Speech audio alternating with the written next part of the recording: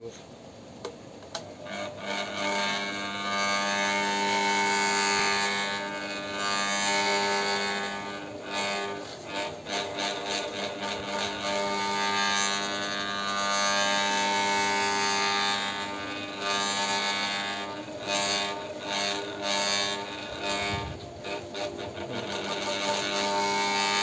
दोस्तों, ये जो प्रॉब्लम है फ़ैन का, ये सीलिंग फ़ैन टेबल फ़ैन दोनों ही में आता है। और इस प्रॉब्लम की वजह से पंखा घूमता नहीं है। तो ये प्रॉब्लम दो तीन कारण से होता है। पहला तो ये है कि अगर आपका कैपेसिटर का पावर ख़त्म हो गया है तो ऐसे घूमेगा, लेकिन वो साउंड नहीं आएगा। घूमने की कोशिश करेगा, फिर रुक जाएगा। अगर आप उंगली से या कोई डंडा वंडा से घुमा देते हो तो घूमते घूमते घूमता है, लेकिन ऐसे रुक जाता है। तो ये कैपेसिटर की वजह से हो जाता है। और दूसरा प्रॉब्लम जो है वो है, अगर आपका फ़ैन का कॉयल जो है वायरिंग जो वायरिंग किया हुआ होता है बाइंडिंग अगर वहाँ पे कहीं एक दो वायर जल जाता है तो भी ऐसा ही प्रॉब्लम आता है। अगर आप उंगली से घुमा देते हो एक चक्कर तो फिर घूमने लग जाता है, वरना नहीं घूमता है।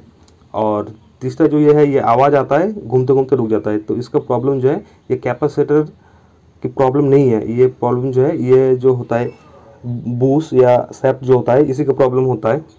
जो ये है तो आज हम देखेंगे इसका प्रॉब्लम क्या है और ठीक करके बताएँगे आप लोगों को। तो बने रहिए दोस्तों मेरे चैनल पे के एन टॉप टू पर। इसका जो प्रॉब्लम है, ये घूम नहीं पा रहा है। ये जो, ये सैप है, यहाँ पे घिस गया है, पूरा गड्ढा बन गया है।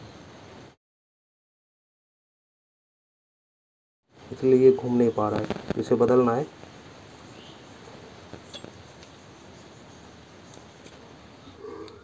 तो हमने ये नया वाला लाया है और ये थोड़ा इससे लंबा है।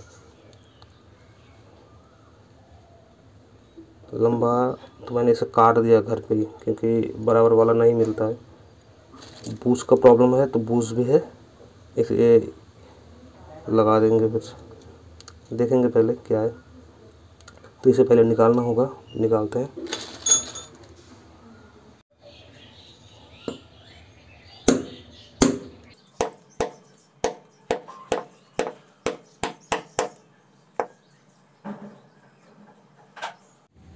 तो बहुत मेहनत करने के बाद इसे हमने लगाया था, लेकिन ये जो है, टेढ़ा हो गया ठोकते ठोकते देखिए। अगर ये आपका थोड़ा सा भी टेढ़ा होता है तो ये काम नहीं करेगा। तो इसे बिल्कुल जितना सीधा होता है, उतना ही रखना है आपको, बहुत धीरे धीरे इसको ठोकना है और अंदर डालना है। तो ये पहला वाला है, जो ये घिस गया था, इसकी वजह से नहीं घूम रहा है। तो हमने इसे लाया था, ये सेम सेम नहीं मिलता, ये थोड़ा बड़ा वाला था, इसे काट के हमने एडजस्ट किया, लगाया। लेकिन फिर ये टेढ़ा हो गया। तो फिर हमने एक लाया है नया वाला, जो ये भी काफ़ी लंबा है। नया वाला लंबा है तो इसे फिर काटना है, काट के इसके बराबर करना है, फिर इसे लगाना है। तो इसे काट लेते हैं। लगभग हमने आधा काट ही लिया इसका, थोड़ा सा बाकी है। तो इसे काट लिए हमने, इसे काट दिए तो ये हो गया छोटा। ये तो टेढ़ा हो गया, ये किसी काम का नहीं। ये पुराना वाला। तो ये जिस माप से लगा हुआ था, उसी माप से हमें लगाना है। मैंने दो मार्क किया हुआ है, एक यहाँ पे है और दूसरा यहाँ पे है। तो अभी इसको फिर डालेंगे हल्का हल्का ठोक के, वरना फिर ये भी टेढ़ा हो जाएगा। तो इसे अगर आपके पास ये तकता है या कांट, इसी से ठोकना धीरे धीरे ताकि ये टेढ़ा ना हो जाए। इसे हमने ठोक ठोक के अंदर घुसा लिया। एकदम बराबर।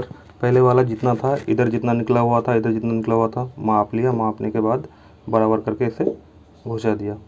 तो अब इसका काम हो गया कंप्लीट। एकदम सीधा है, इसमें कोई प्रॉब्लम नहीं है। बाकी है इस तरफ़ घिसा हुआ था, वो पुराने वाले इसमें इस तरफ़ घिसा हुआ है।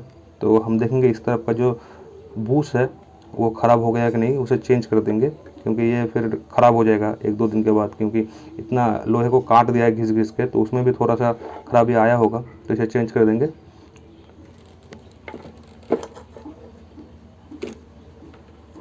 तो ये बूस है वो, जो ख़राब हो गया है।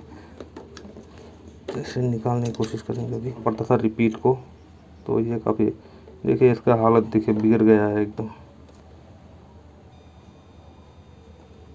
कैसे हालत हो गया, एकदम काला काला हो गया है। इसलिए इसका ये हालत है। ये सारा सर गया है एकदम, कुछ है ही नहीं इसमें।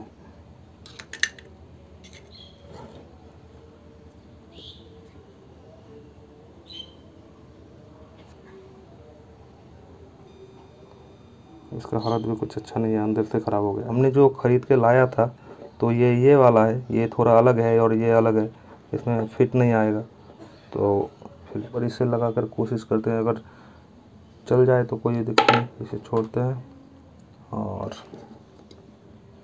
ये जो सारी चीज़ें हैं, ये ऑयल स्टोर करने के लिए था, ये अभी ख़राब हो गया है, यहाँ पे बिठा हुआ होता है चारों तरफ़ से तो यहाँ यहाँ पे ऐसे लगा हुआ होता है ऑयल को स्टोर करने के लिए तो यहाँ पे हम थोड़ा कपड़ा डाल देंगे, ताकि ऑयल को, ये वाला कपड़ा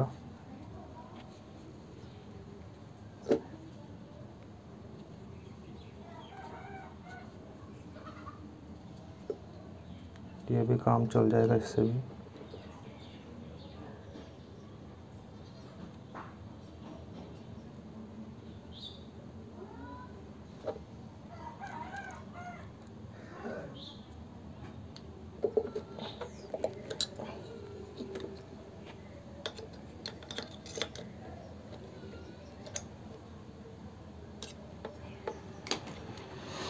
बस अब फिटिंग कर देना ऐसे हो जाएगा।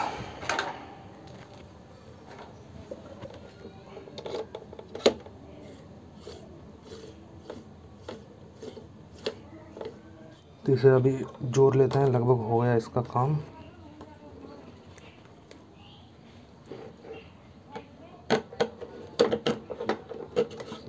दोस्तों, अगर मेरा वीडियो आपको थोड़ा सा भी अच्छा लगा है तो लाइक कर दीजिए शेयर कर दीजिए, और सब्सक्राइब कर लीजिए।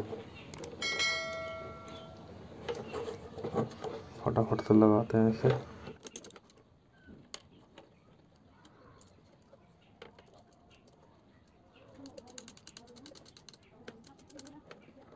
ये हो गया फिटिंग कंप्लीट। अब इसे चला कर देखते हैं कैसे घूमता है।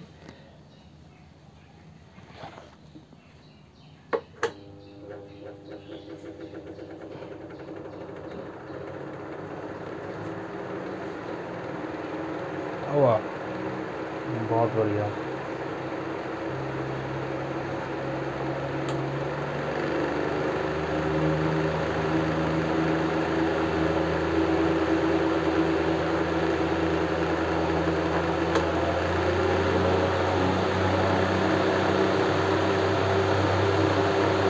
तेज़ हवा आ रही है।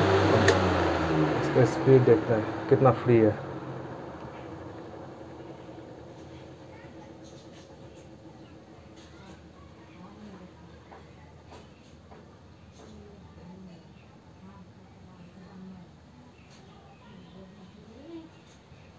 काफ़ी पंखा फ्री है। और दोस्तों, अगर कॉयल जल जाता है टेबल फ़ैन का हो या सीलिंग फ़ैन का हो तो 80 परसेंट कोयल को यूँ ही बनाया जाता है रिपेयर करके। तो मैं यहाँ पे लाट पे वहाँ पे आप जाके देख सकते हो वीडियो को। तो दोस्तों, आज के लिए इतना ही। फिर मिलेंगे नेक्स्ट वीडियो में तो सब्सक्राइब करके शेयर लाइक ज़रूर कर देना। जय हिंद।